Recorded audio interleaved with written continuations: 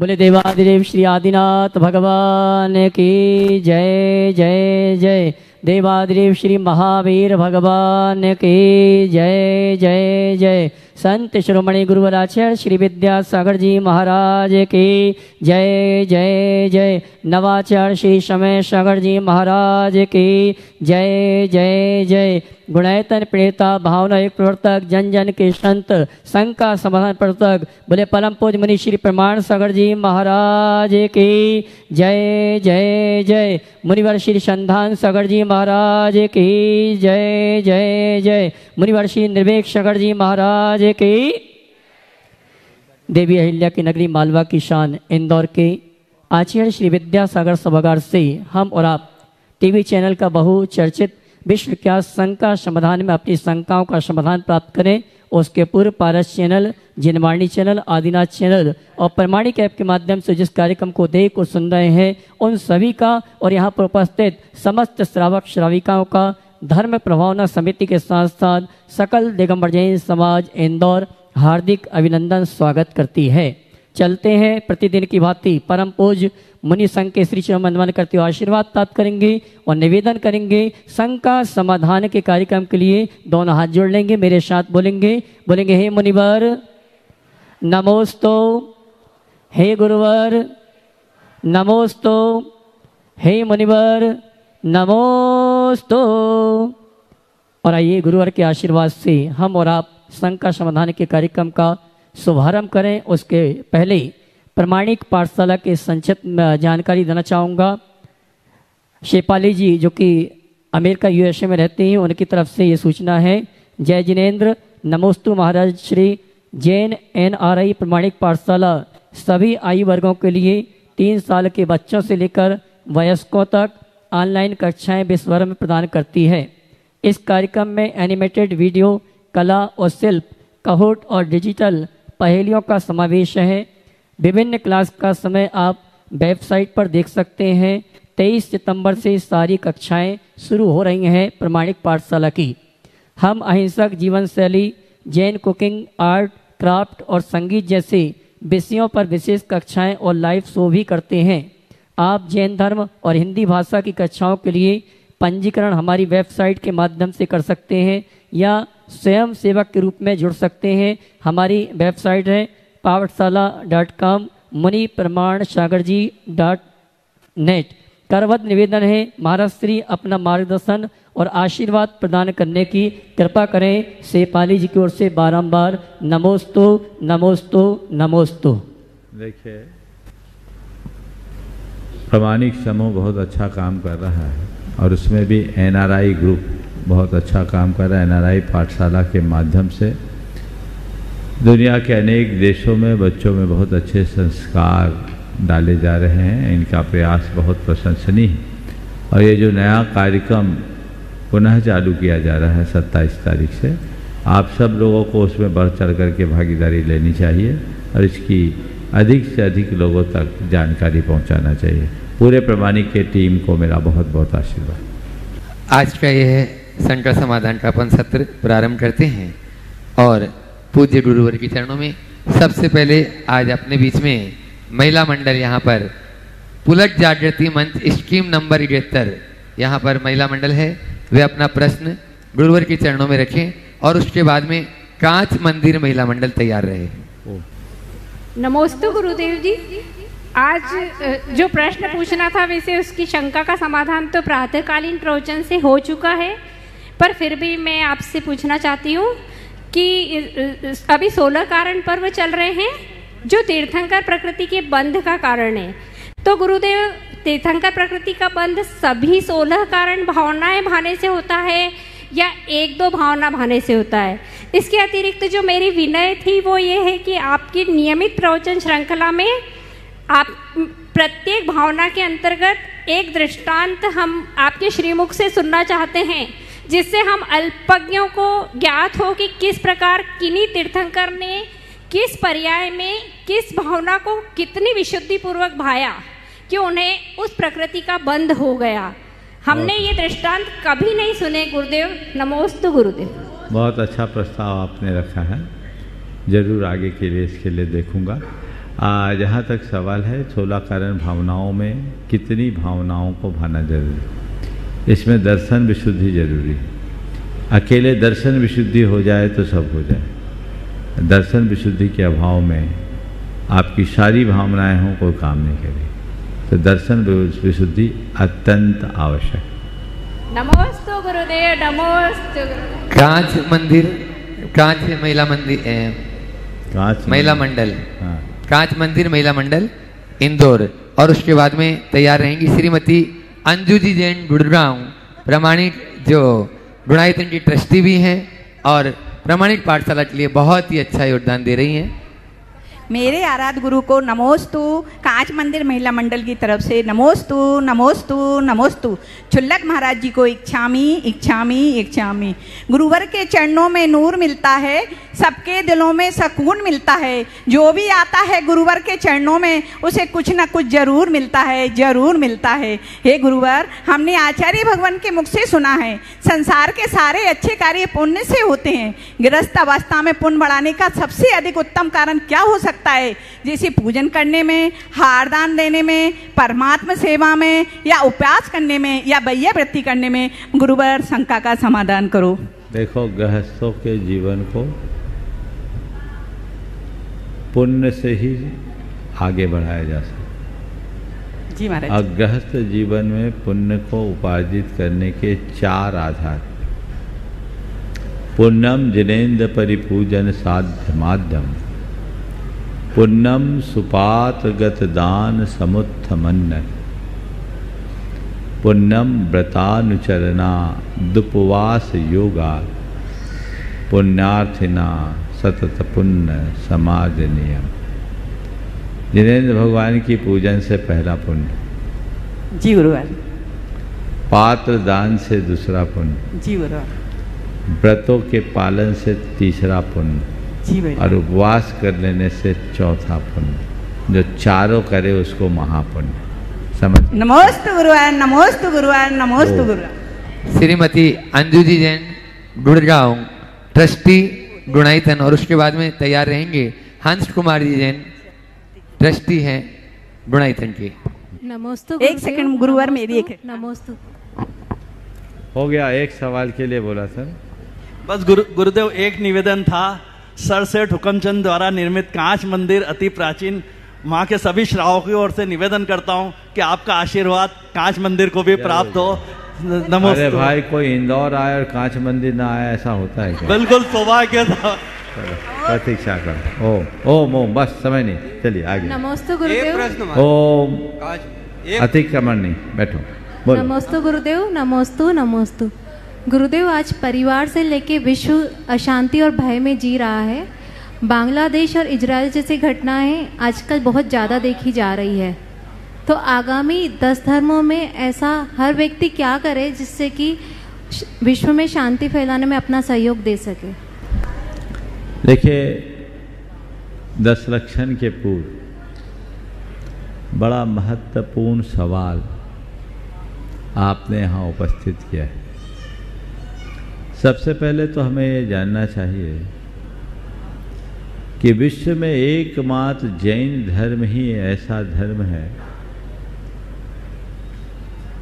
जिसमें उदात जीवन मूल्यों को इतनी अधिक प्रतिष्ठा और महत्व दिया गया दस लक्षण, जिसे पर्यूषण पर्व के नाम पर भी जाना जाता है। जैन परंपरा का महान पर्व माना गया है। इसे पर्व नहीं, पर्वाधि राज कहा जाता है।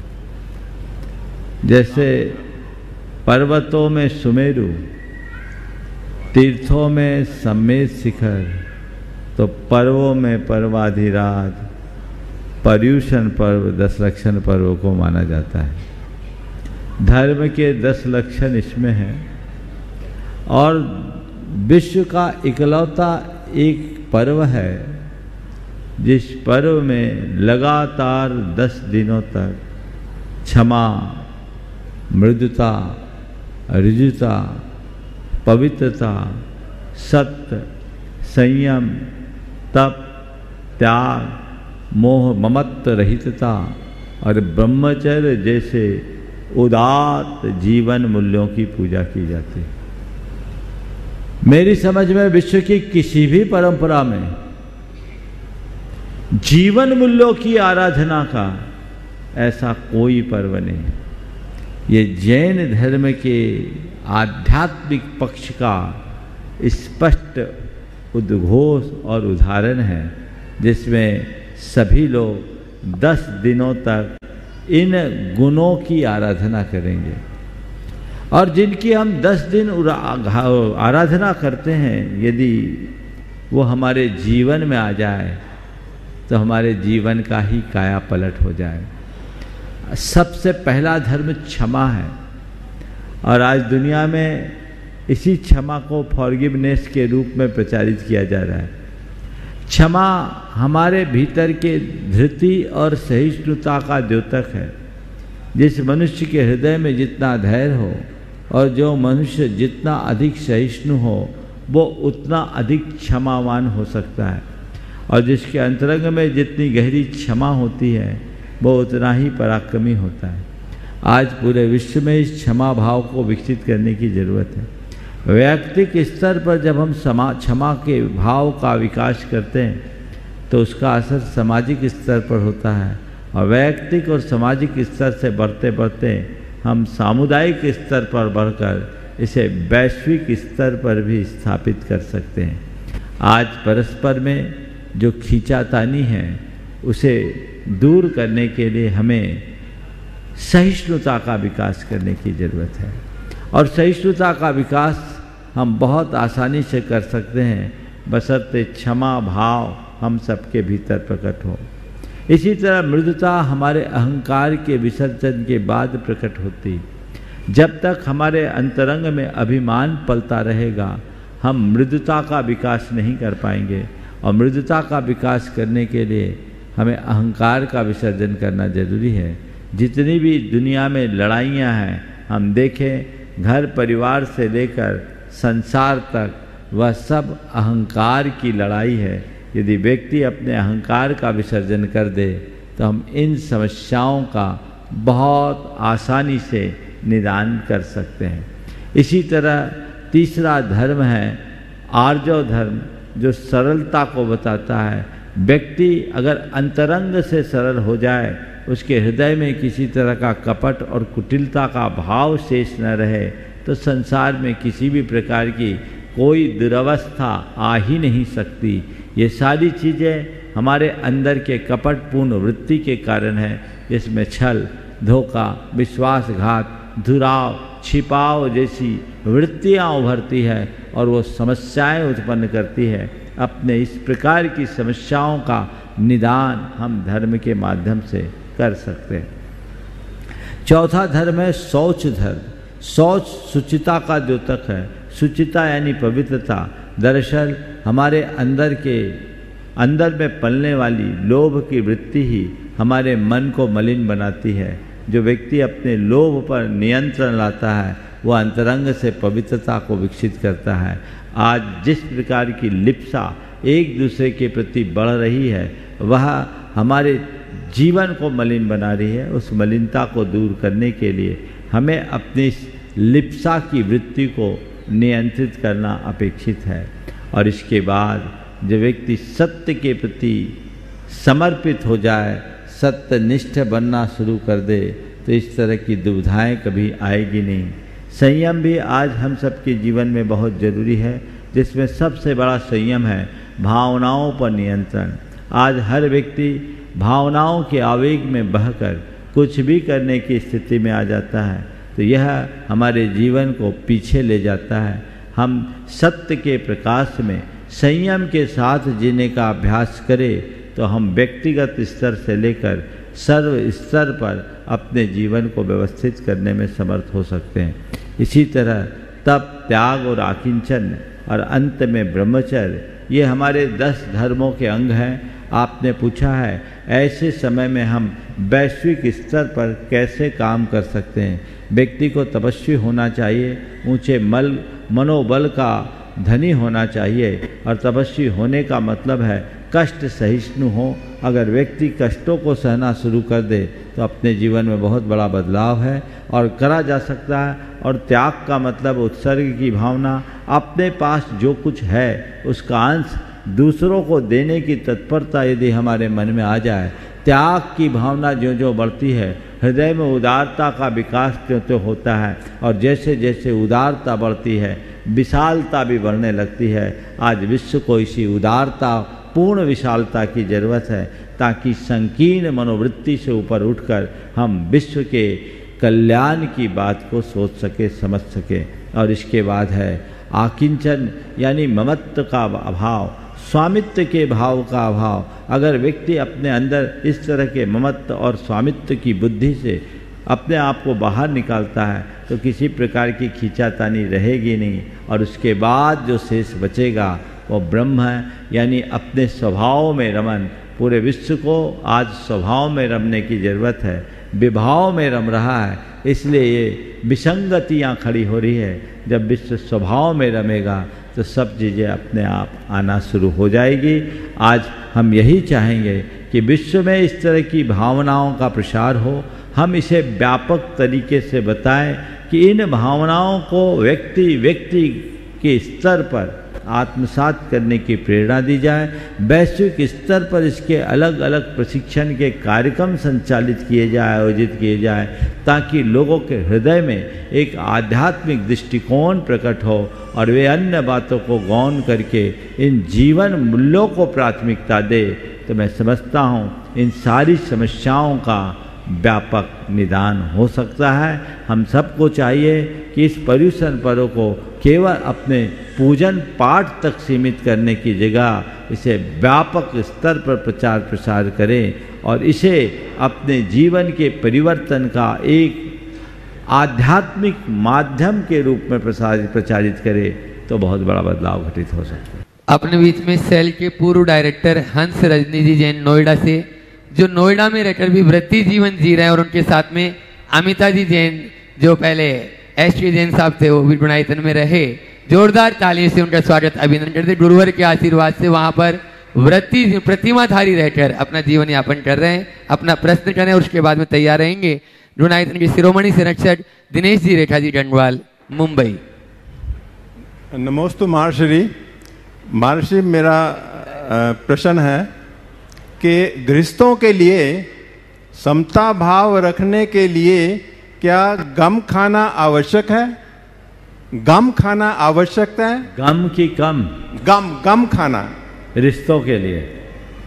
गृहस्थों के लिए गृहस्थों के लिए। के लिए फिर से बोलो। गृहस्थों के लिए समता भाव रखने के लिए क्या गम खाना आवश्यक है? या यह केवल प्रा, प्रा, प्रारंभिक भूमिका में ऐसा होता है। देखो कम खाना भी आवश्यक है गम खाना भी आवश्यक है और नम जाना भी आवश्यक समझ गए? जीवन का मज़ा लेना है तो कम खाओ गम खाओ और नम जाओ। ज़्यादा भोजन शरीर पर भार बनता है। समझ गए? इसलिए कम खाने में अपने को संतोष रखना चाहिए और उसका असर हमारे शारीरिक, मानसिक दोनों स्थितियों पर पड़ता है।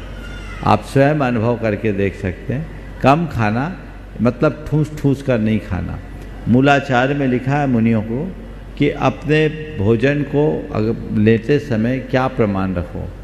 एक हिस्सा ठोस पदार्थ से भरो, दो हिस्सा तरल पदार्थ खासकर पानी से भरो और एक हिस्सा खाली रखो, उसे हवा से भरो। पेट के चार हिस्से रखो। एक भाग में ठोस पदार्थ, दो भाग में तरल या जल, और चौथा भाग खाली रखो। तो ये कम खाने का प्रमाण है। एकदम कम खाने में तो उठ के खड़े ही नहीं हो पाओगे, पर इतना ज़्यादा खाओगे तो भी उठ के खड़े नहीं हो पाओगे। तो उतना ही खाओ जिसमें दौड़ सको, चल सको। तो कम खाना, गम खाना, और नम जाना। नमोस्तु महर्षि महर्षि दिनेश जी, रेखा जी, गंगवाल जी गुणायतन के शिरोमणि संरक्षक है और उनके साथ में है रेणु संदीप जी बढ़ मुंबई और आबा कमल जी, काला, मुंबई। और उसके बाद में तैयार रहेंगे मदन लाल जी, रोशन जी बढ़ जो पूज्य ज्येष्ठ दुर्लभ सागर जी महाराज के गृहस्थ अवस्था के भैया और पिताजी, मदन लाल जी बढ़ जाते साहब, पिताजी आज अपने बीच में हैं। धर्म प्रभावना समिति वहाँ पर जाकर उनका सम्मान भी करेंगे। नमोस्तु महाराज, नमोस्तु नमोस्तु नमोस्तु। महाराज, दुनिया में किसी का कोई नहीं है। बेटा बहू की अमानत है शादी के बाद। बेटी दामाद की अमानत है शादी के बाद। और शरीर शमशान की अमानत है। तो महाराज माता पिता फिर किसकी जिम्मेवारी या किसकी अमानत हुई या किसका दायित्व हुआ?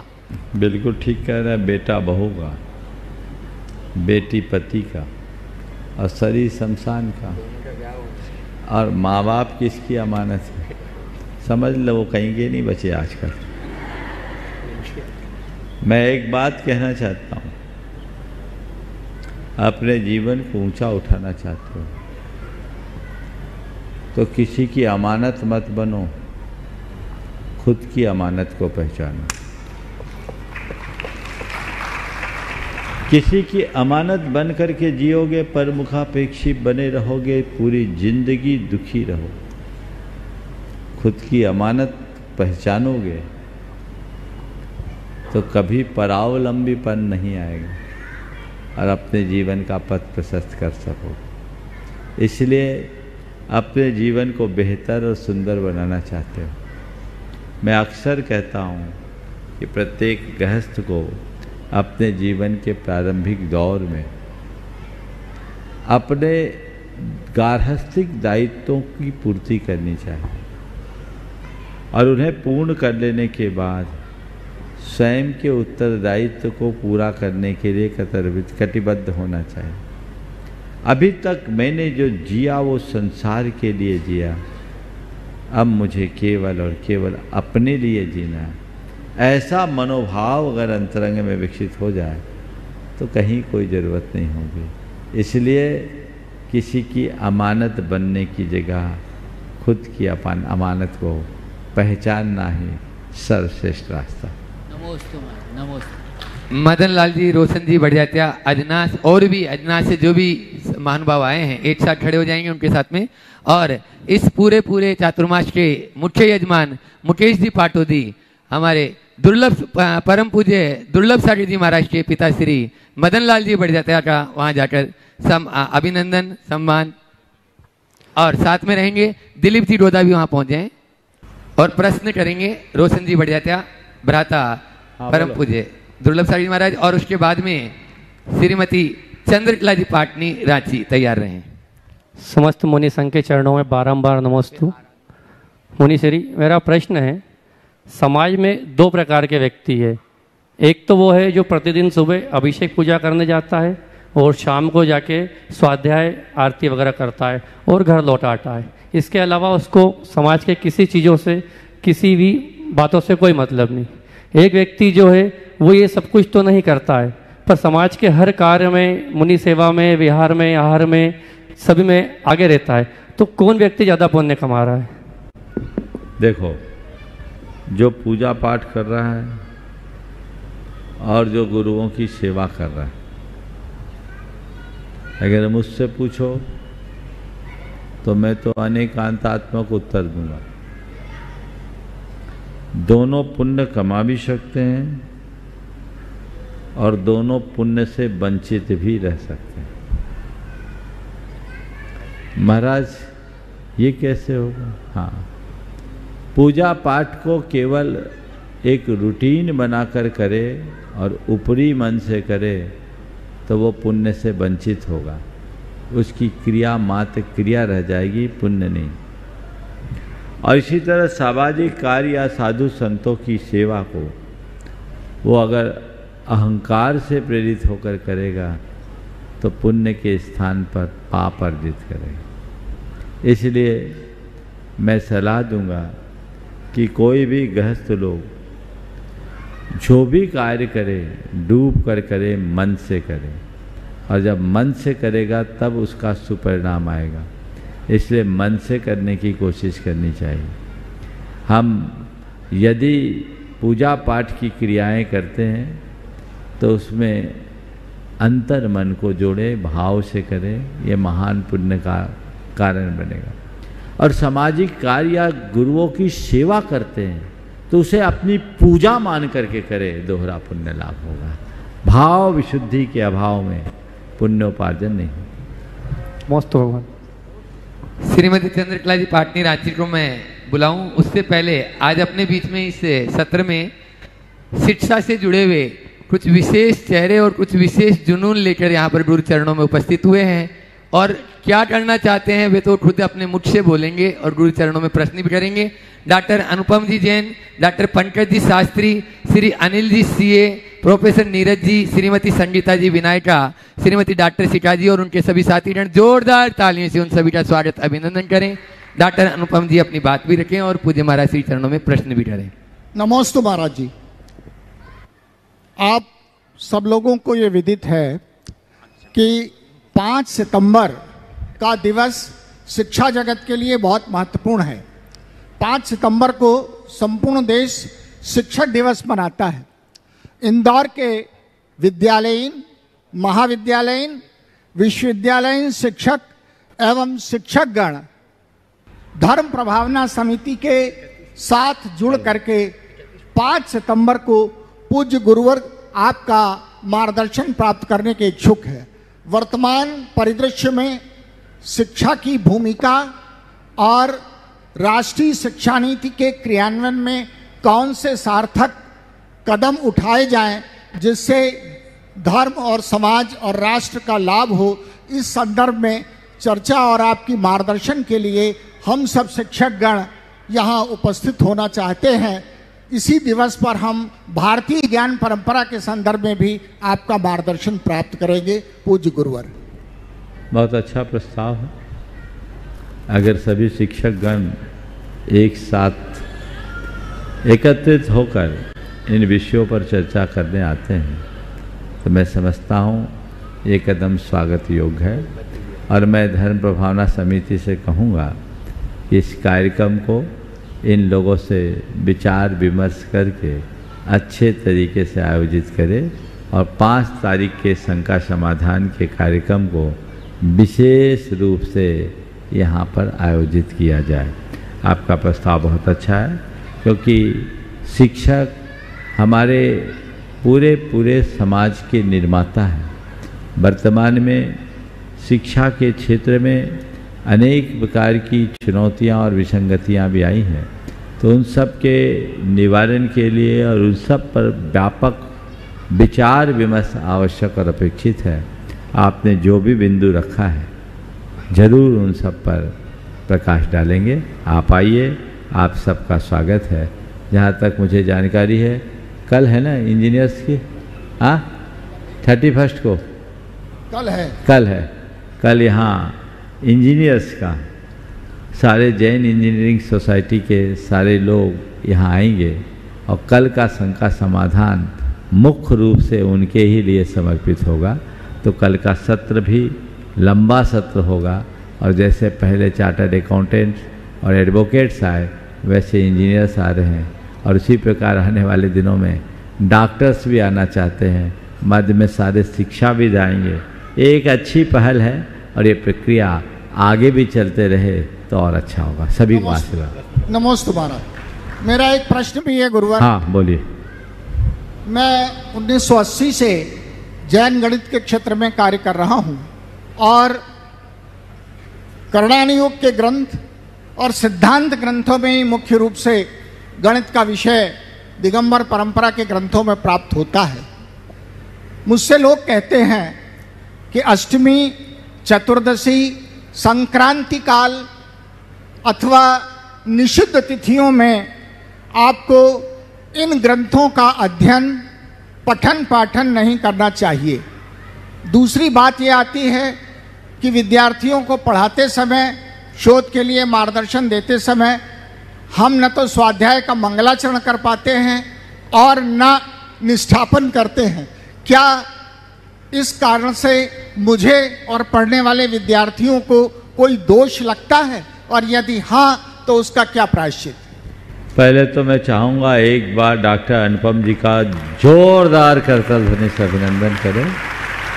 वर्तमान में हमारे समाज के इकलौते ऐसे विद्वान हैं, जो जैन गणित की संपूर्ण प्रक्रिया को शोध खोज के साथ आगे बढ़ा रहे हैं। पहले डॉक्टर एल सी जैन थे और प्रोफेसर गिल साहब थे। उन्होंने जैन गणित पर अपने शोध के कार्य की शुरुआत की और वैश्विक पटल पर इस बात को स्थापित किया कि जैन धर्म में जो गणितीय प्रक्रियाएँ हैं, वो भारत की बड़ी प्राचीनतम विरासत है और दशमलव प्रणाली के जनेता, प्रणेता, जनक तो महावीराचार्य हुए। वही हुए ना? और इसे विद्वानों ने स्थापित किया, इसमें आप जैसे विद्वानों का बहुत बड़ा योगदान है। अनेक ग्रंथ है, जिसमें सूक्ष्मतम गणितीय विवेचना है। और आप इन गणितों को जब समझेंगे तो आप खुद हतप्रभ रह जाएँगे। मैं एक बीच में एक प्रसंग आम जनों के लिए देना चाह रहा हूँ, ताकि लोगों का जैन गणित के प्रति स्पष्ट दृष्टिकोण प्रकट हो। जैन जगत के एक बड़े विद्वान हुए हैं, पंडित रतन चंद मुख्तार। वे मुख्तार थे, उन्हें हिंदी भी ढंग से नहीं आती थी। वे अंग्रेज़ी और उर्दू पर आधारित ही उनका पाठ्यक्रम था, सहारनपुर के निवासी थे। पर बड़े मेधावी और संस्कारशील थे। उन्होंने जैन वांग्मय का इतना गहरा अध्ययन किया कि विद्वत जगत में उन्हें रेफरेंस बुक के नाम से जाना जाता था। वो इतने अधिकारी विद्वान थे कि कोई भी बात आए तो बड़े अधिकार पूर्वक वो कह देते थे कि अमुक बात अमुक ग्रंथ के अमुक पृष्ठ पर अंकित है।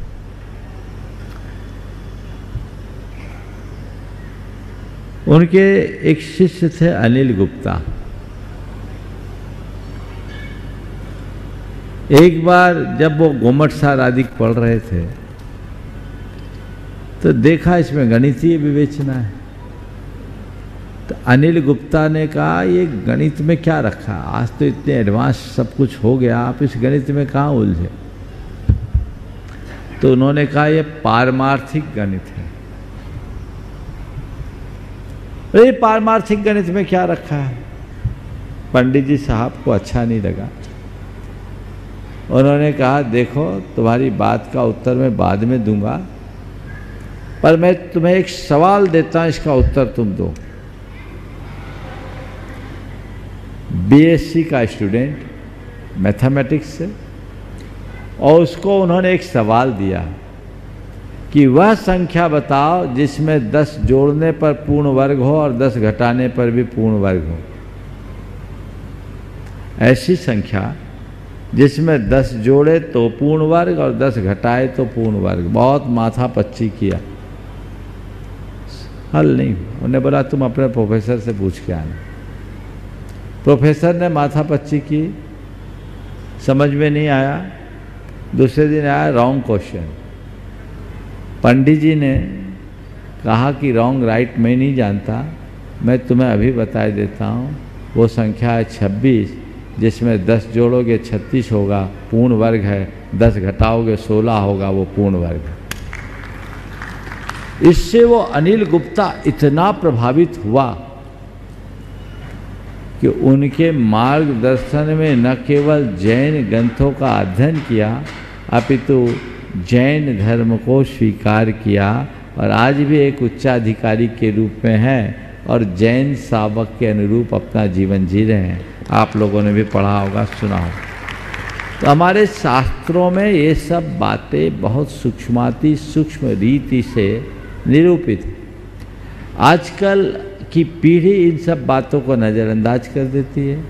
स्वाध्यायशील लोग भी जब गणितीय प्रसंग आता है तो पन्ना पलट के आगे बढ़ जाते हैं।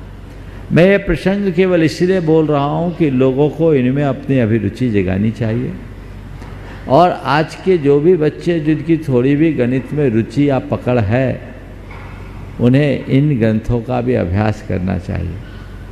विनय के साथ पढ़ने पर सब बातें समझ में आती हैं। और जिनको इस तरह की गणितीय प्रक्रियाएँ समझ में नहीं आती, उन्हें डॉक्टर अनुपम जैन जैसे लोगों का संपर्क करना चाहिए।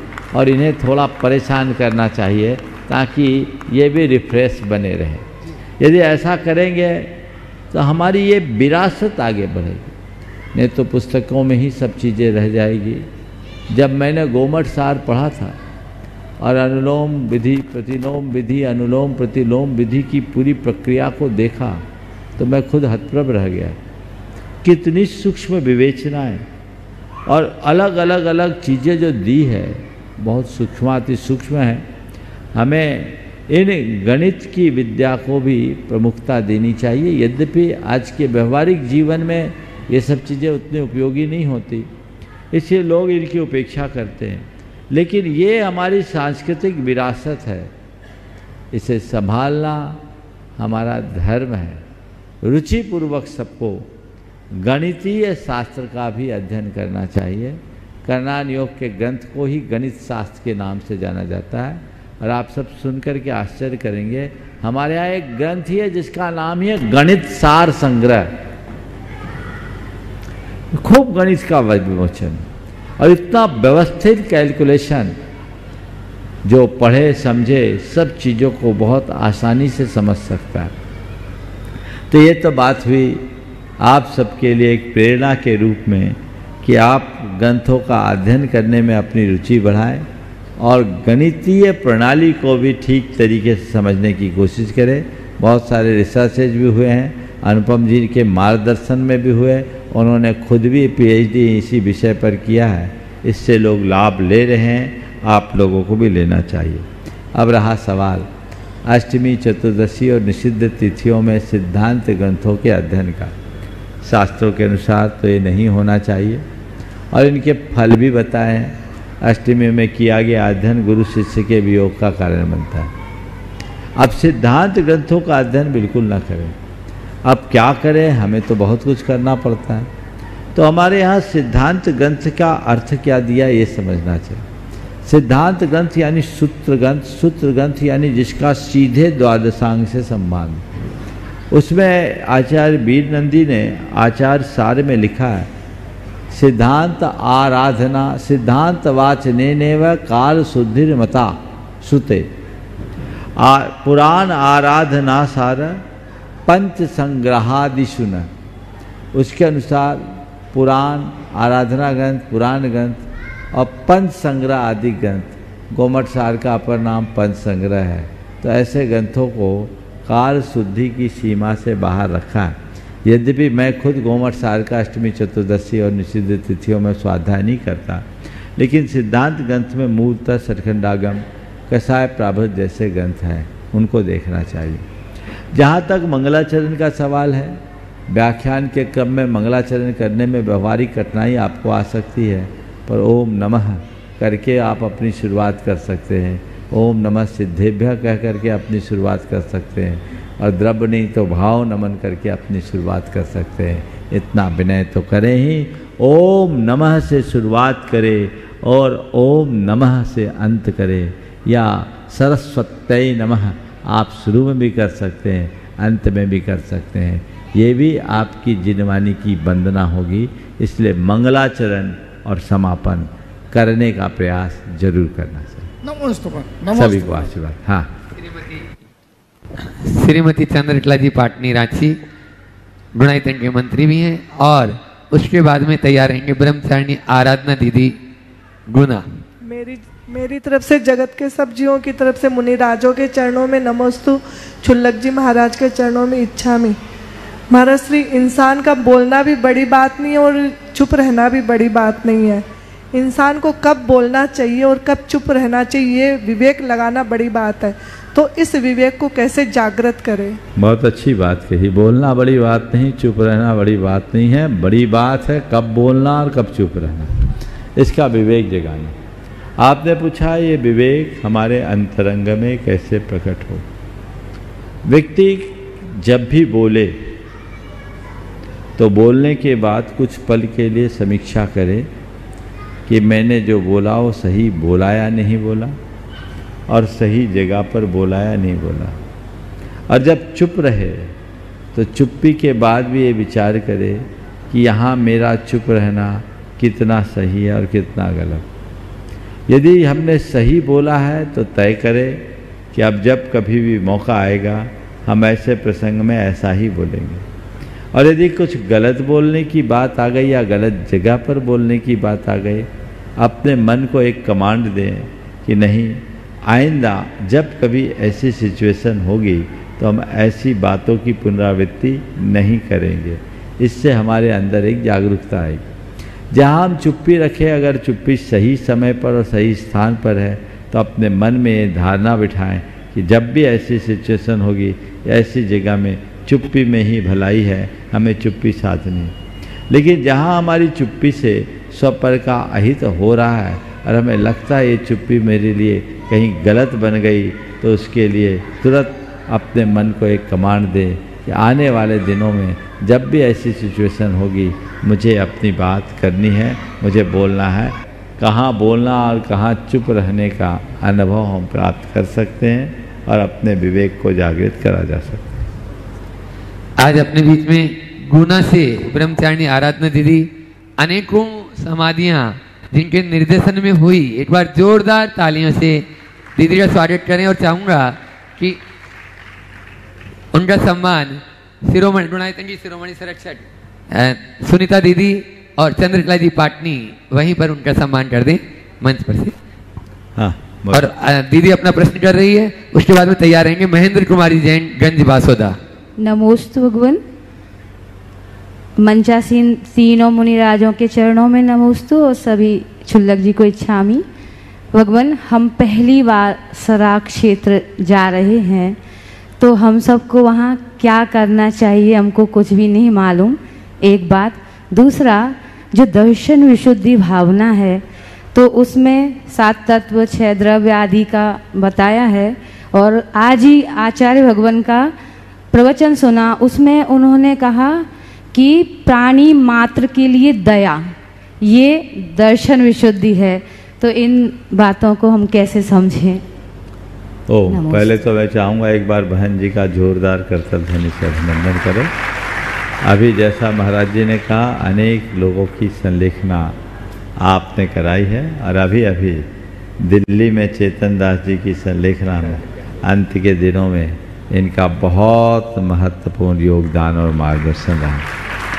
आपने दो बात कही सराग क्षेत्र में आप लोग जा रही हैं, धर्म प्रभावना के लिए जा रही हैं, और यही भाव रखें कि हमें धर्म की प्रभावना करनी वो हमारे भाई हैं, उन्हें धर्म का बोध कराएँ, तत्व का ज्ञान कराएँ, और विशुद्धतया केवल धर्म की पाठ पढ़ाएँ।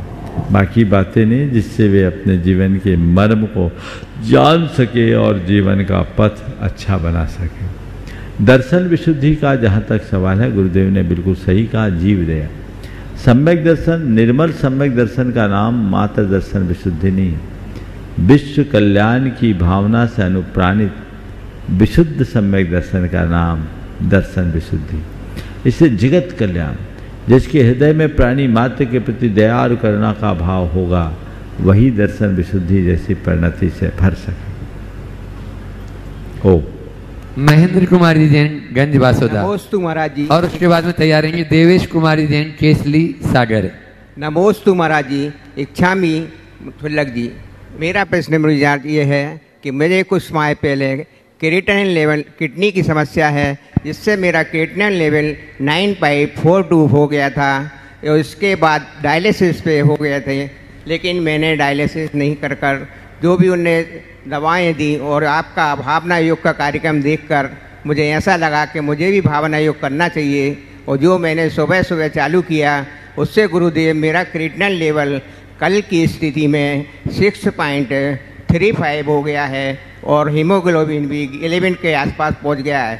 बस इतना ही कहना चाहूँगा भावना एक बहुत अच्छा व्यायाम या उसको करने से सबको अच्छा लाभ मिलता है। बहुत। नमोस्तु महाराज आप अभी डायलिसिस करा रहे हैं? नहीं महाराज जी बिल्कुल, बिल्कुल नहीं। नहीं। और केटनाइन आपका 6.4 हो गया। आ गया। बहुत सुंदर बहुत सुंदर। ये देखिए ये क्रिएटाइन के दूसरा उदाहरण है एक सज्जन और थे जिनका ऐसा ही था और सप्ताह में दो डायलिसिस होती थी उनकी महीने में एक डायलिसिस हो गई। आप तो डायलिसिस पर आए नहीं। और जिस तरह से होमोग्लोबिन का परसेंटेज आप बोल रहे हैं क्रिटनाइन का बोल रहे हैं आप इसी तरह करते रहिए और अपनी चिकित्सा भी करते रहिए। निश्चित आपको और लाभ मिलेगा औरों को भी प्रेरणा बहुत बहुत आशीर्वाद। देवेश कुमार जी जैन केसली सागर और उसके बाद में मनाली जैन राजवाड़ा इंदौर। निर्यापक मुनि जी को बारंबार बारंबार निर्यापक नहीं मुनि महाराज बोलो हाँ। बारंबार नमस्कार, बारंबार नमोस्तु बारंबार नमोस्तु। मुनीश्री जी, आपसे बस एक छोटा सा प्रश्न है कि धर्म और दर्शन में क्या अंतर होता है और जैन धर्म और जैन दर्शन में हम कैसे विभेद करें? नमोस्तु। धर्म और दर्शन में उतना ही अंतर जितना आचार और विचार में। धर्म हमारे आचारात्मक पक्ष को प्रकट करता है तो दर्शन हमारे विचारिक, वैचारिक पृष्ठभूमि को अभिव्यक्त करता है। समझ गया? धर्म को हम पैर कह दें तो दर्शन को अपनी रीढ़ कह दें। जैसे पैरों के बिना हम चल नहीं सकते तो वैसे ही रीढ़ के बिना खड़े नहीं हो सकते। समझ गए? आचार ही हमारे विचारों को अभिव्यक्ति देता है, पर बिना विचार के आचार भी टिक नहीं पाता। इसलिए धर्म और दर्शन दोनों एक दूसरे के पूरक समझने चाहिए। समझ गए? जैन धर्म में दर्शन है जो सुविचारित तत्व को प्रतिपादित करता है। और जैन आचार अहिंसा मूलक आचार है जो हमारे जीवन को उन्नत बनाने का रास्ता बताता है। नमोस्तु नमोस्तु नमोस्तु। मनाली जैन राजवाड़ा इंदौर और उसके बाद में नमोस्तु महाराज जी। मनीषी मेरा प्रश्न ये है कि अष्टमी चतुर्दशी अष्टानिका और पर्यूषण ये सब अपने पर्व हैं। लेकिन आजकल की जो युवाएँ हैं वो इन सबको नहीं मानते। अष्टमी क्या चतुर्दशी या रात में खा रहे हैं अन मतलब सारे कंद भी खा रहे हैं। तो इससे हम सब मतलब हमें कैसे अ, मतलब बताइए कि ये कितना महत्वपूर्ण है अष्टमी चतुर्दशी हमारे लिए? देखिए बहुत अच्छा सवाल। अष्टमी और चतुर्दशी को जैन परंपरा के शाश्वत पर्व के रूप में जाना जाता है। और अष्टमी और चतुर्दशी के दिन विशिष्ट संयम, अनुष्ठान हमारे यहाँ किया जाता रहा। धार्मिक मान्यता है कि अष्टमी अष्टकर्म के नाश का और चतुर्दशी चौदह गुणस्थानों से पार उतरने का प्रतीक है। लेकिन इसके पीछे एक वैज्ञानिक कारण है। एक साधक कोई साधना के मार्ग पर चलता है तो उसे अपनी शक्ति और परिस्थिति के अनुसार संयम की आराधना करनी होती है। जैन धर्म तो मूलतः अहिंसा, संयम और तप मूलक धर्म है। अपने जीवन को ऊँचा उठाने के लिए हमें अहिंसा, संयम और तप का मार्ग अपनाना चाहिए।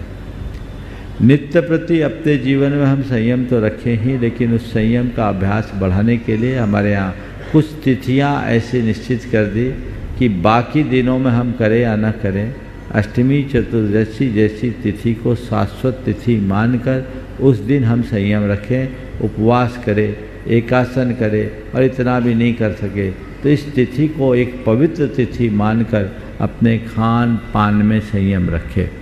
ये हमारी साप्ताहिक तिथियाँ हैं जिससे हमारी परंपरा जुड़ी हुई है, हमारी सांस्कृतिक पहचान जुड़ी हुई है। आज भी अनेक ऐसी परंपराएँ हैं जिनमें किसी में शुक्रवार, किसी में रविवार, उनका विशेष दिन माना जाता है। लेकिन जैन धर्म में अष्टमी और चतुर्दशी को जो विशेष तिथि के रूप में मान्य किया गया, इसके पीछे एक बड़ा वैज्ञानिक आधार देखने को मिला। मैंने एक शोध लेख पढ़ा था। उस लेख में एक बड़ी गहरी बात लिखी थी। वो शोध मुख्यतः अमेरिका में रहने वाले लोगों के ऊपर किया गया था। अमेरिका, चूँकि एक शीत कटिबंधीय देश है, और वहाँ सर्दी के शिकार लोग ज़्यादा होते हैं। तो वहाँ उसके ऊपर एक शोध किया गया, और उस पर आधारित लेख मेरे पढ़ने में आया। उन्होंने लिखा कि जैसे धरती पर दो तिहाई जल भाग है, और एक तिहाई ठोस भाग, वैसे ही हमारे शरीर में दो तिहाई जल तत्व और एक तिहाई ठोस तत्व रहता है। जैसे चंद्रमा की कलाओं से समुद्र का जल स्तर घटता बढ़ता है, वैसे ही चंद्रमा के प्रभाव से हमारे शरीर का जल स्तर भी घटता बढ़ता है।